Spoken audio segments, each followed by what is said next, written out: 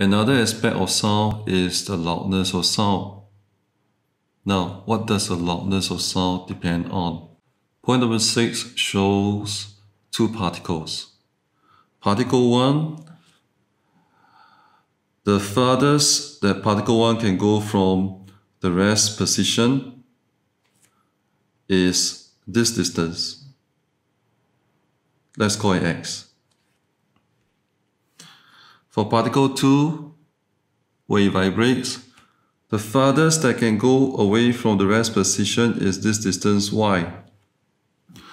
From the diagram, you can see that y is greater than x. We say that x is the amplitude of the vibration of particle 1.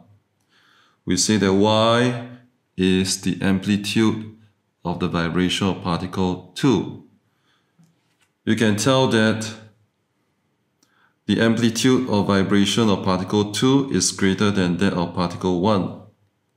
Therefore, the sound produced by particle 2's vibration will be louder than the sound produced by particle 1's vibration. So, the amplitude of the particle's vibration, we say that is the amplitude of the sound that is produced. The loudness of the sound depends on that. The louder the sound is, the greater the amplitude of vibration. The softer the sound is, the smaller the amplitude of vibration.